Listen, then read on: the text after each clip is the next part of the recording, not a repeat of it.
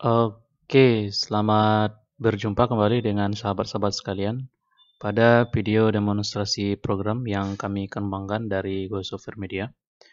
Pada kesempatan kali ini, sebenarnya program ini sudah uh, lama uh, kami buatkan video demonstrasinya di YouTube dan kebetulan merupakan salah satu program yang ya banyak dikunjungi dan banyak komentar. Pada kesempatan kali ini yang saudara saksikan adalah uh, program uh, update daripada program kami sebelumnya, yaitu sistem pakar berbasis web. Untuk versi sebelumnya, saudara bisa lihat di YouTube.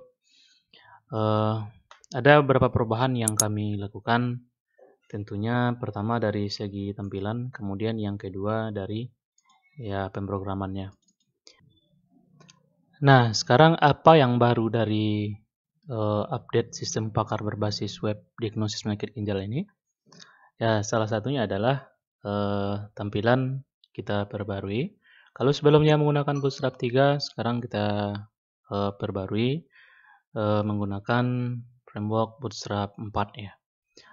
Selain itu juga kita uh, ya artinya perbarui besar-besaran dari sisi coding. Nah, kalau misalnya saudara lihat kita sudah perbaiki dari susunan ataupun struktur programnya.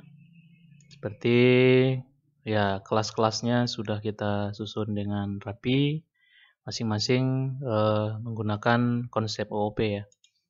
Kemudian database, kalau sebelumnya menggunakan MySQL agar program ini lebih minimalis, saya coba migrasi ke SQLite. Selanjutnya uh, ya Composer support ya.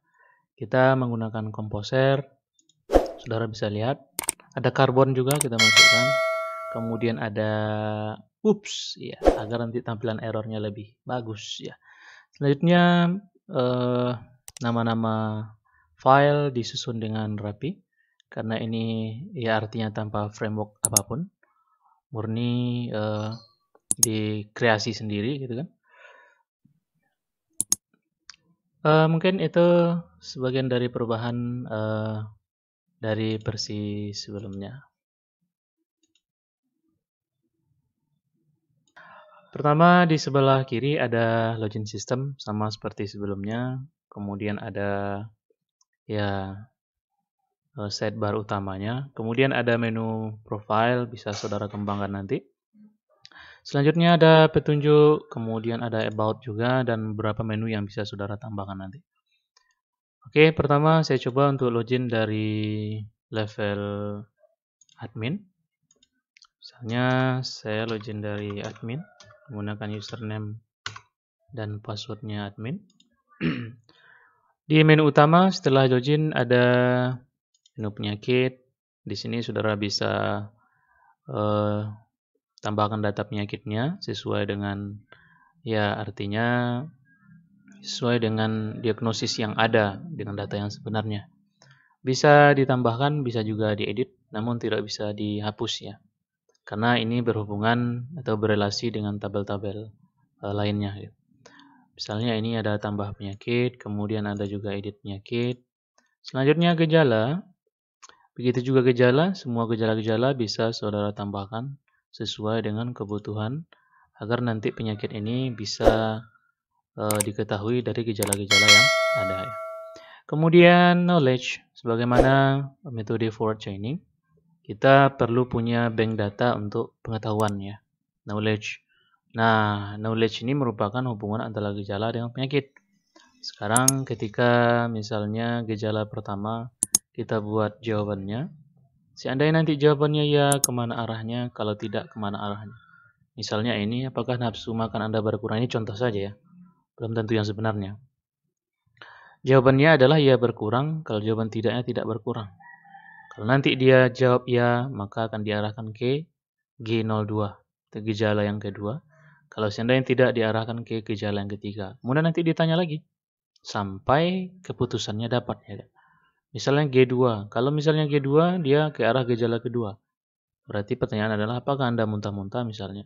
Kalau ya, ini contoh, maka dapatlah penyakitnya. Kalau tidak, gejala yang ketiga.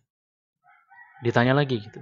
So, gejala ketiga, kalau seandainya iya, maka dapatlah penyakitnya misalnya nomor tiga. Kemudian kalau tidak, berarti penyakitnya yang pertama. Ini contoh saja.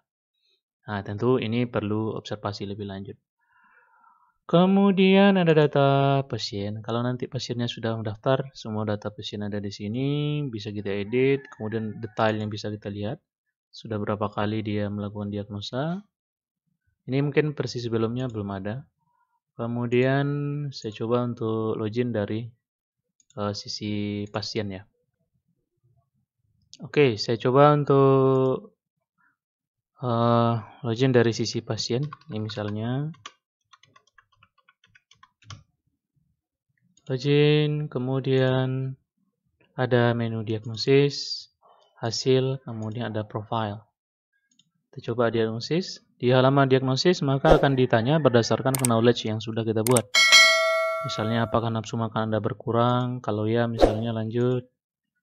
Ditanya lagi kalau seandainya nanti apakah Anda sering muntah-muntah? Kalau ya hanya sering, kalau tidaknya tidak pernah. Kalau misalnya sering, ini tadi udah ada jawabannya. Proses maka akan dapat oh batu ginjal misalnya ya. Kemudian eh, misalnya apa nafsu makan berkurang tidak ini misalnya tidak lagi maka akan arahkan ke batu ginjal. Ini mungkin jawaban yang lain ya. Kemudian ini tidak ditanya lagi misalnya ini ke ya proses uh, penyakit ginjal polikistik misalnya. Hasilnya bisa dilihat di sini. Kemudian profile bisa ngisi profilnya, di sini juga ada bisa merubah password. Mungkin itu saja karena tujuannya memang untuk uh, diagnosis penyakit ginjal atau mungkin sebenarnya bisa sudah bisa saja saudara uh, membuat untuk penyakit yang lainnya kalau seandainya ya rule-nya sama ya kan. Oke, mungkin demikian yang bisa saya demonstrasikan uh, update dari program sistem paket berbasis web diagnosis penyakit ginjal dari Go Software Media. Sampai jumpa dengan video demonstrasi berikutnya.